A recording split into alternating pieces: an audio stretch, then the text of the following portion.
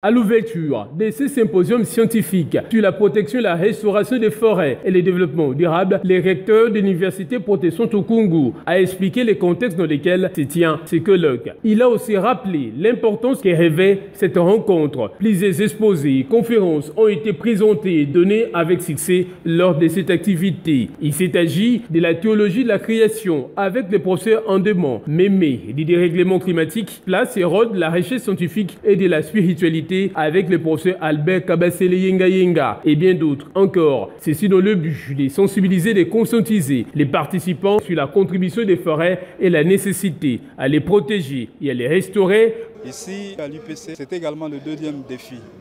Celui-là, c'était de voir comment lier la foi et la science, pour montrer que la science et la foi ne faisaient qu'une, une même chose avec des compartiments différents. À l'issue des échanges enrichissants, une série de conclusions et de recommandations concrètes ont été formulées. Nous proposons en premier lieu qu'il y ait des formations formalisées, systématisées au niveau de notre programme éducatif, mais aussi accompagnées des catéchèses que nous allons donner aux membres de nos églises sur la justice climatique.